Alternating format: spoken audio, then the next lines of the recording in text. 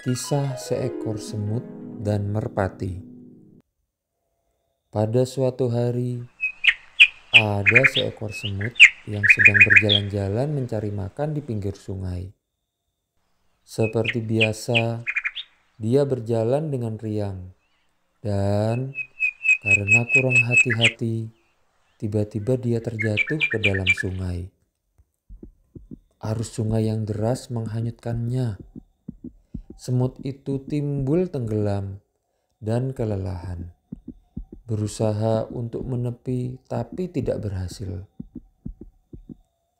Lalu ada seekor burung merpati yang kebetulan menempel di pohon yang melintang di atas sungai melihat semut yang hampir tenggelam dan merasa iba.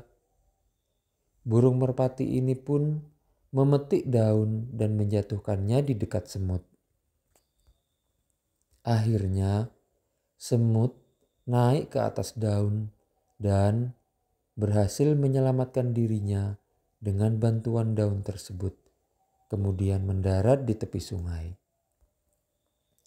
Lalu, tak lama kemudian, sang semut melihat seekor pemburu burung sedang mengendap-endap, berusaha mendekati burung merpati yang telah membantunya tadi. Semut menyadari bahaya yang membayangi merpati yang baik tersebut. Segera berlari mendekati pemburu, kemudian si semut menggigit kaki sang pemburu.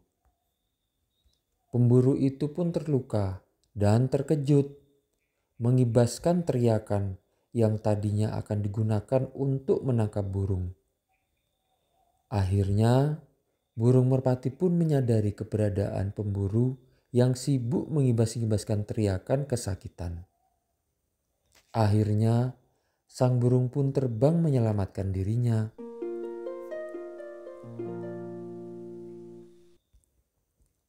Demikianlah kisah si semut dan merpati yang saling membantu. Sang merpati telah menyelamatkan nyawa sang semut.